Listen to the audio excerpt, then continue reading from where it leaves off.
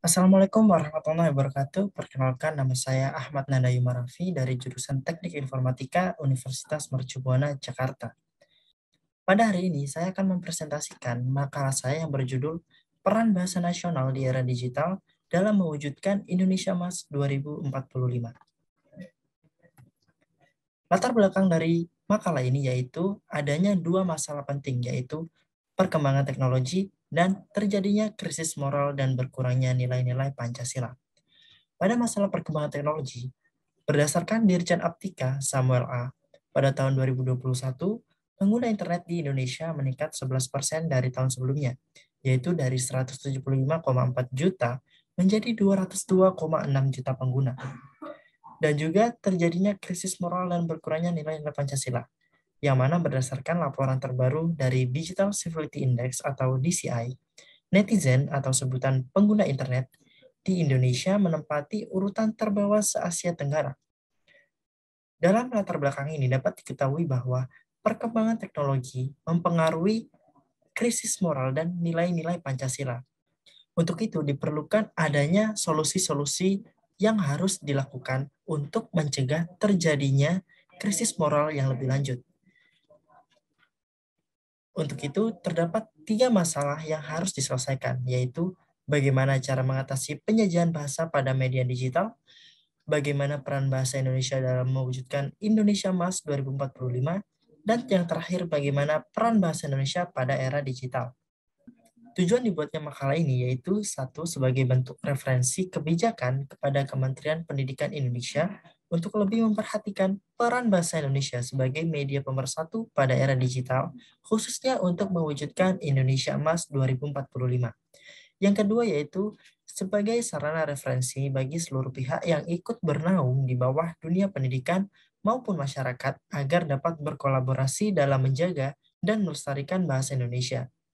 Dan yang terakhir yaitu sebagai bentuk sumber dan sebagai bahan masukan kepada para penulis lain untuk lebih mengamati dan peduli mengenai pentingnya peran bahasa Indonesia sebagai bahasa nasional pada era digital. Untuk materi yang pertama yaitu penjajahan bahasa dan budaya pada media digital. Seperti yang kita ketahui bahwa pada data sebelumnya diuraikan bahwa terdapat masalah moral dan mas atau masalah sosial pada netizen Indonesia yang mana peringkat satu dengan netizen paling tidak sopan se-Asia Tenggara. Hal ini mungkin disebabkan adanya pengaruh globalisasi yang kian merajalela melalui media-media sosial. Untuk itu, terdapat dua masalah yang akan saya bahas di sini, yaitu pertama, munculnya berbagai inovasi baru seperti ponsel pintar, serta aplikasi-aplikasi sosial seperti Facebook, Instagram, Twitter, dan yang terbaru TikTok. Dan yang kedua yaitu generasi muda yang kurang memiliki rasa persatuan dan rasa cinta tanah air. Untuk mengatasi penjajahan bahasa dan budaya pada media digital sendiri, diperlukan adanya sosialisasi bahasa Indonesia melalui media digital. Dan yang kedua yaitu pelestarian bahasa Indonesia sebagai bahasa nasional dan bahasa persatuan. Dengan adanya sosialisasi, masyarakat atau netizen akan lebih mengenal tentang bahasa Indonesia dan mempraktikkan bahasa Indonesia pada media sosial itu sendiri sehingga netizen dapat mempunyai rasa kebersamaan yang tinggi dengan melalui media bahasa Indonesia ini. Dan yang kedua yaitu pelestarian bahasa Indonesia sebagai bahasa nasional dan bahasa persatuan. Seperti yang kita ketahui bahwa bahasa Indonesia berhasil menyatukan seluruh wilayah di Indonesia dengan menggunakan pengaruhnya. Untuk itu diperlukan pelestarian lebih lanjut lagi terutama dalam penggunaan bahasa Indonesia di media sosial. Pada pembahasan yang kedua yaitu peran bahasa Indonesia dalam mewujudkan Indonesia Emas 2045. Seperti yang kita ketahui bahwa diproyeksikan pada tahun 2030, Indonesia akan memasuki bonus demografi yang mana usia produktif akan lebih tinggi daripada usia non-produktif. Untuk itu terdapat tiga masalah yang akan saya bahas, yaitu globalisasi melalui teknologi Internet of Things atau IoT, atau Internet of People atau IoT. Dan yang kedua yaitu Indonesia akan masuki bonus demografi. Yang ketiga yaitu terjadinya konflik antar kelompok. Pada masalah pertama, seperti yang kita ketahui, perkembangan media sosial sangat-sangat tinggi. dengan adanya globalisasi yang ada di media sosial, informasi dapat diakses oleh semua kalangan masyarakat tanpa adanya uh, filter atau penyaring. Untuk itu, globalisasi sendiri dapat berbahaya dan dapat mempengaruhi turunnya minat anak bangsa untuk uh, mengenal budaya mereka sendiri. Dan yang kedua yaitu Indonesia akan memasuki bonus demografi. Seperti yang kita ketahui, bonus demografi merupakan pisau bermata dua, yang mana bonus demografi dapat membuat Indonesia dapat selangkah lebih maju menjadi negara maju atau lepas dari negara berkembang dan menjadi negara maju, ataupun dapat membawa Indonesia e, merangkak lagi di tingkat bawah karena terjadinya lonjakan penduduk yang mana di masa usia produktif mereka butuh lapangan pekerjaan, namun kurangnya lapangan pekerjaan dan membuat mereka menjadi pengangguran. Untuk itu, bonus demografi juga harus diwaspadai.